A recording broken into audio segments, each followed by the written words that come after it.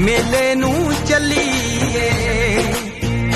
ਮੱਲਾ ਕੱਢ ਕੁੜਤੇ ਦੇ ਬੱਟ ਵੇ ਚੱਲ। ਮੇਲੇ ਨੂੰ ਚੱਲੀਏ। ਆਲੇ ਪੜ ਕੁੰਜੀਆਂ ਤੇ ਸੰਭਲੇ ਤਿਜੋਰੀਆਂ।